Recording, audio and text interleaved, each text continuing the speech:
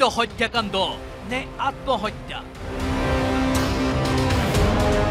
পানীখাইটিৰ ঘটনাৰ ৰহস্য অব্যাহত মহানগৰীৰ পানীখাইটিৰ তামোলবাৰীৰ ব্ৰহ্মপুত্ৰ নৈত সন্ধানহীন হোৱা যুৱকজনৰ মৃতদেহ অৱশেষত আৰক্ষীয়ে উদ্ধাৰ কৰে লতাশিলৰ ব্ৰহ্মপুত্ৰৰ পানীৰ পৰা উদ্ধাৰ কৰা মৃতদেহটোত আঘাতৰ চিন থকা বুলি পৰিয়ালৰ লোকে দাবী কৰিছে। মৃত যুৱকজনৰ পিতৃয়ে হত্যাকাণ্ডৰ কথা উল্লেখ কৰি আৰক্ষী থানাত ইতিমধ্যেই এজাহাৰ দাখিল কৰিছে। উল্লেখযোগ্য যে দেওবাৰৰ দিনটোত নাৰেংগী পাথৰকুৱেৰীৰ দহজন যুৱক ফুৰিবলৈ গৈছিল পানীখাইটিৰ তামোলবাৰী অঞ্চললৈ। ব্ৰহ্মপুত্ৰৰ পাৰত যুৱককেইজনে সুৰাপান কৰি নদীত গা ধুবলৈ নামিছিল। গা ধুই থকা অৱস্থাতে অৰ্জুন নাথ আৰু চিন্ময় পাঠক নামৰ দুই যুৱক পানীত হঠাৎ সন্ধানহীন হৈ পৰে। পাছত এছ ডি আৰ এফৰ দলে অভিযান চলাই চিন্ময় পাঠকৰ মৃতদেহ উদ্ধাৰ কৰিছিল যদিও অৰ্জুন নাথৰ মৃতদেহ উদ্ধাৰ কৰিবলৈ সক্ষম হোৱা নাছিল।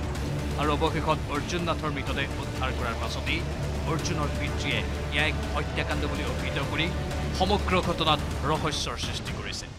মোৰ সন্দেহ আছে। তাৰমানে কিয় তাক এইখিনি জেগাত পূৰা ৰঙা ৰঙা হৈছে। যেনেকৈ আমি এটা জীৱ বা এটা গাহৰি গাহৰি যেতিয়া আমি এটা মাৰি লৈ আহোঁ মাৰত যেতিয়া ছালটো আমি চেলাই দিওঁ বা গিলাচ দি উঠাই দিওঁ য'ত আমি কোবাইছিলোঁ সেইটো ৰঙা ৰঙা হৈ থাকে বাকীখিনি ঠিকে থাকে। মোৰ সন্দেহ হৈছে তাক মানে মাৰিছে মাৰি নাকে তাক কিবা এটা বস্তু বেয়া বস্তু তাক ঢালি দিছে যাকে অজয় বৰ্মনৰ report news eighteen Assam north east.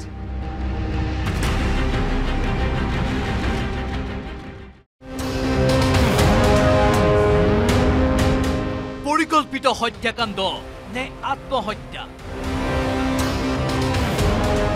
পানীখাইটিৰ ঘটনাৰ ৰহস্য অব্যাহত। মহানগৰীৰ পানীখাইটিৰ তামোলবাৰীৰ ব্ৰহ্মপুত্ৰ নৈত সন্ধানহীন হোৱা যুৱকজনৰ মৃতদেহ অৱশেষত আৰক্ষীয়ে উদ্ধাৰ কৰে। লতাশিলৰ ব্ৰহ্মপুত্ৰৰ পানীৰ পৰা উদ্ধাৰ কৰা মৃতদেহটোত আঘাতৰ চিন থকা বুলি পৰিয়ালৰ লোকে দাবী কৰিছে।